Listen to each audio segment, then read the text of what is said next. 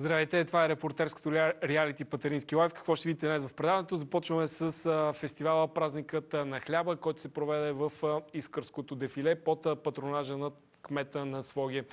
Емил Иванов. Ще говорим и за Кан, разбира се, защото там се случват интересни неща. Победа на Ален Делон, но май си оставаме изгубени в ценностите, защото битката за изконното продължава. Ще видим и докъде стига премиерското реалити. Там Бойко Борисов в кола обяснява и получава информация от първа ръка от министри и разбира се отговорни за проектите, които той инспектира днес.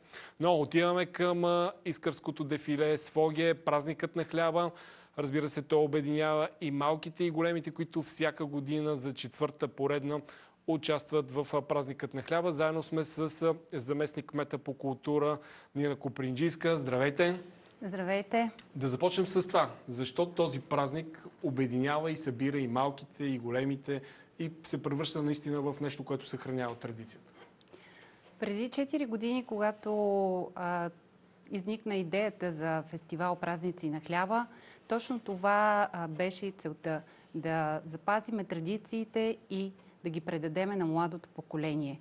И мисля, че успяхме. За четвърта поредна година участниците стават все по-млади и по-млади.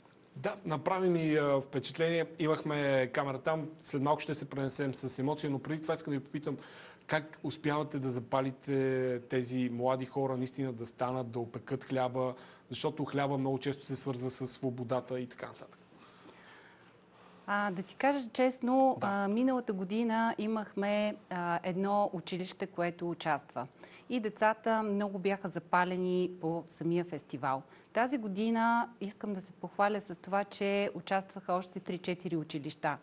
Едно от а, училище в Церово училището, децата, освен любов към хляба, те възродиха и любовта си към литературата и към фолклора. Защото сами подготвиха презентацията на техния, на техния хляб, който бяха подготвили за финала. Така, разбира се, знаеме, не случайно Вазов е минал там, има Вазова пътека. Но преди това, нека да видим малко емоция и разбира се, как изглеждаше финалната част на празникът на хляба в Своге на площада. Нека да видим сега.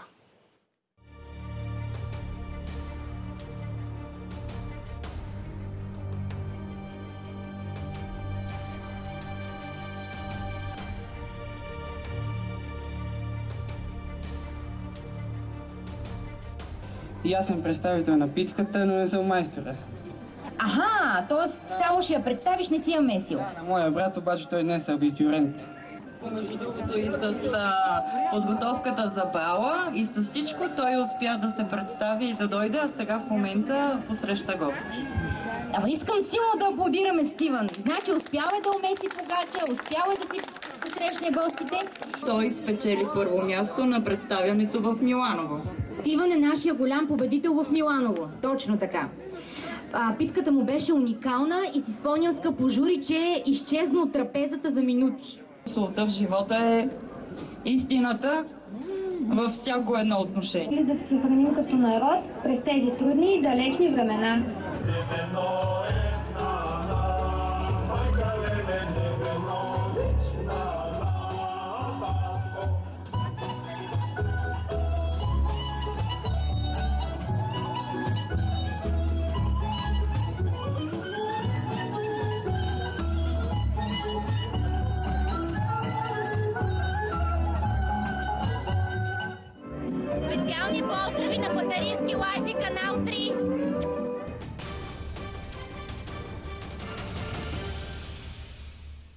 И така, видяхме каква е емоцията на площада в Своге. Разбира се, един празник, който събира всички в Искърското дефиле, защото там нещата наистина са с традициите, с културата и с всичко това, което може да ни направи българи в днешните много трудни и сложни времена. Разговаряме с Нина Копринджийска, заместник кмет на община Своге с ресор култура. Всъщност да навлеземе малко, защото наистина се видя, че доста хора, това всичкото е направено сега за фестивала, за празника. Точно така, за фестивала. Фестивал продължава в рамките на месец. В 10 населени места продължение на месец провеждаме а, празниците и излъчваме победители по селата, които автоматично присъстват на финала. Съответно и от града също се записват участници и така се получават едни трапези с много вкусни погачи. Вижда се понякога, че дори някой всъщност да не може да дойде поради това, че сега е сезона на битурейските балове и изпраща свой представител, неговия брат. Всъщност става въпрос, че който трябва да получи награда, не му се губи участието в финал. Абсолютно. М, Фестивалът е със състезателен характер и всеки получава своята награда. Да. Стига погачата да е била вкусна и атрактивна. Интересно ли е за журито, защото това също е много интересна част. Бил съм на фестивала миналата година и ми се струва, че това не е лека задача, защото наистина обредният хляб, освен че трябва да изглежда добре, трябва и да е вкусен. Не е лека задачата и на журито, защото трябва да опита доста питки и да оцени вкусовете, качества на всяка. Не е лесно и трябва да си професионалист в тази област. Аз а, лично има доста вкусни питки, има питки, които има съставки, които липсват и ж- журито е, е трудна е задачата, но са справедливи определено. Да, искам да ви попитам, понеже вие сте в целият този процес, към модернизиране ли вървим или към изкривяване на ценностите? Привличаме ли нещо от а, другите а, така, народи, които правят и замесват хляба си или разчитаме на българското и на традиционното?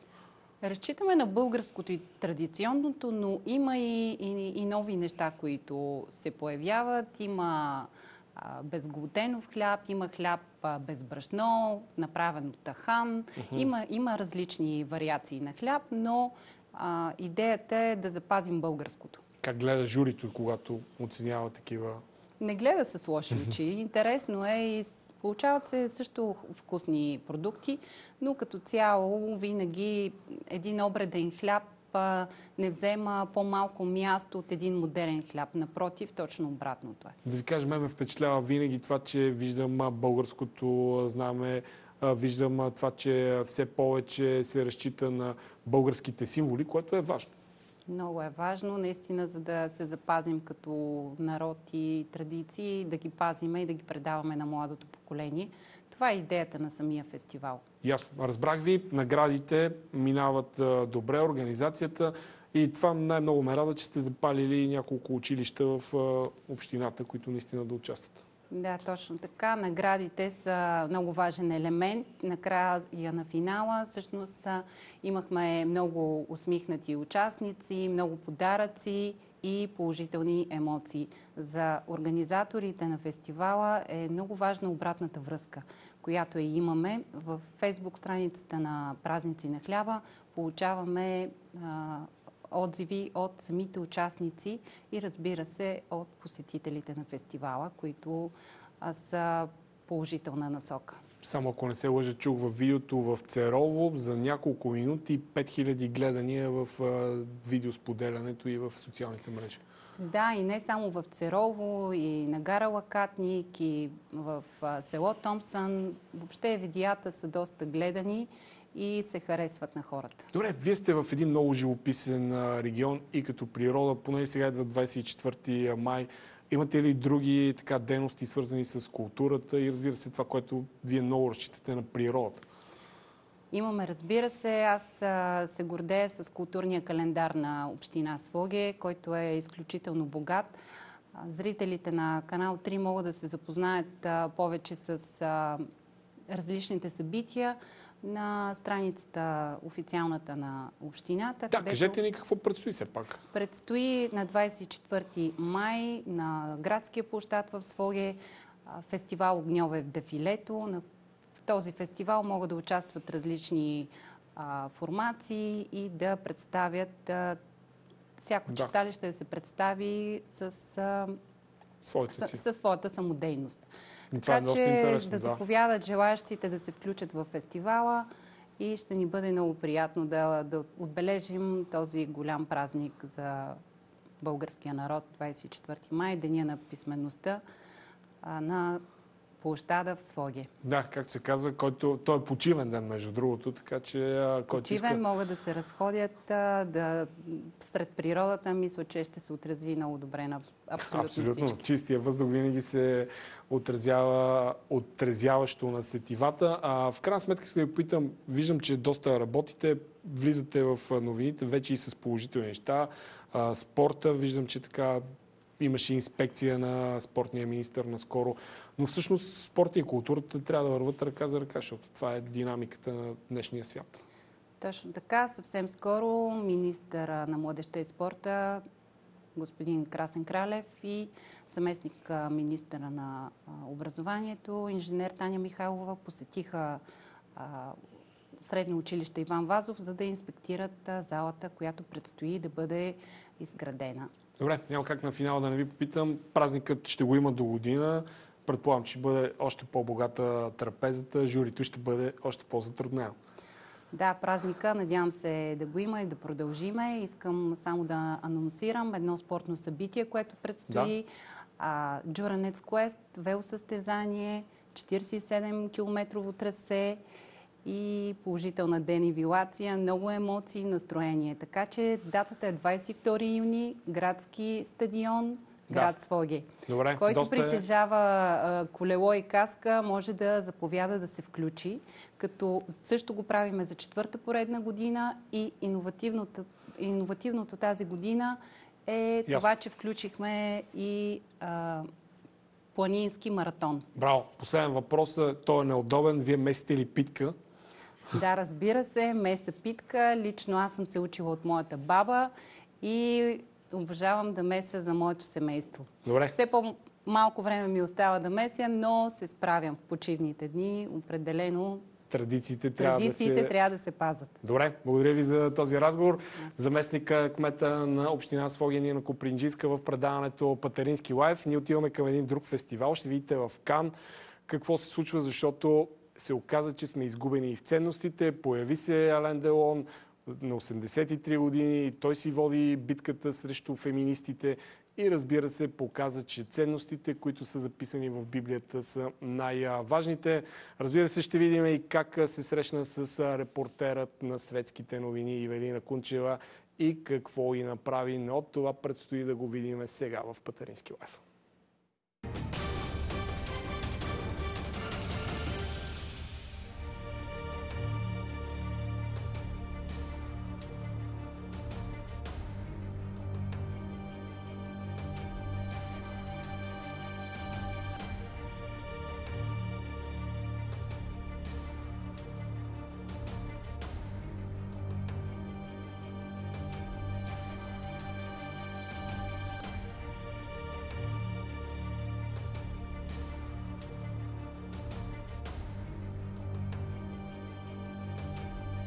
Той бе удостоен с тази чест като признание за цялостното му творчество и работа. Филми с негово участие цели седем пъти са били включвани в конкурсната програма на кинофестивала до сега, но той никога не е получавал награда. На тази годишното издание на фестивала несправедливостта бе поправена.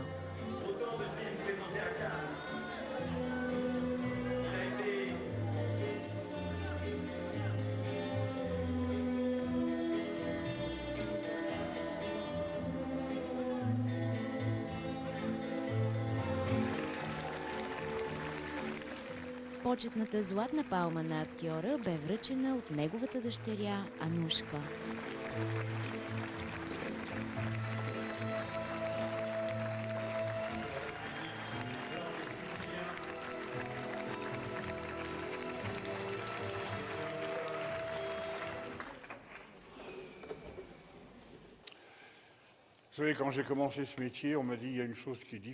Когато започнах тази работа ми казаха, занимавай се с това, което обичаш. Много е трудно да си в бранша толкова дълги години, но го направих. Борих се 62 години, а сега трудното е да си тръгна, защото това наистина ще се случи. Но преди да го сторя, искам да благодаря на всички вас. Дадох целия си живот на работата. Направих най-доброто, което можех. А тази вечер бях завладян от емоциите. В крайна сметка избрах да правя това, което искам и работех с най-добрите. И явно съм звезда. Но това го дължа на вас. Дължа го на обществеността и на никой друг.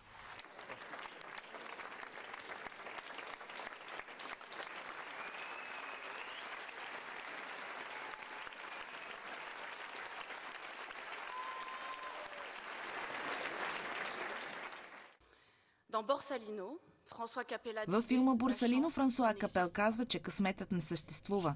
Не съм съгласна. Всъщност мисля, че ти имаше голям късмет. Късмет, че притежаваш такъв талант. Късмет, че имаше шанса да работиш с най-добрите в киното. Но преди всичко мисля, че киното имаше късмет, че те срещна.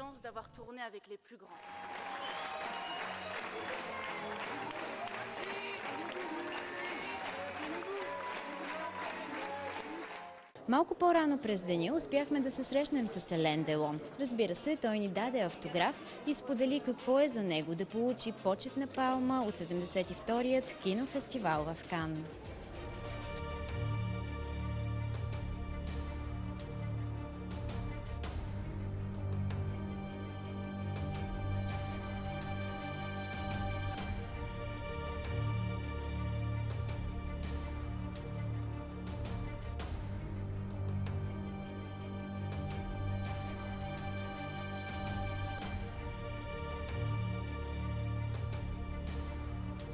Нямам папионка.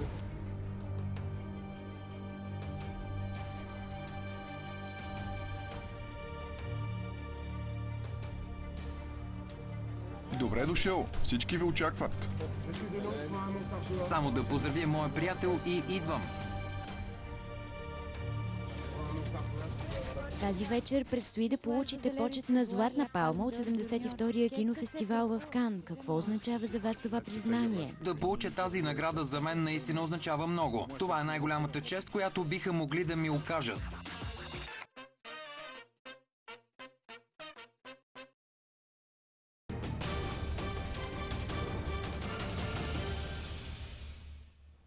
Хитра тактика на светският репортер Ивелина Кунчева. Изчака Ален Делон да се види с приятел, за да получи автограф и пощипване по буската. Разбира се, успех на екипа в Кан. Ние отиваме към това, което разбира се предстои да разберем инспекция на премиерът Бойко Борисов вътре в джипа Николай Нанков, който му говори за обхода при Поморие и 4-лентовият път, а по-късно ще разберем докъде стигна и газопреносната мрежа, свързана с изграждането на трасета от Балкански поток. Но за всичко това след рекламите Патерински лайф има какво да видите и ще разберете как се прави диверсификацията или просто се правят, че мълчат за нея, а тя леко си работи по план. Всичко това след малко.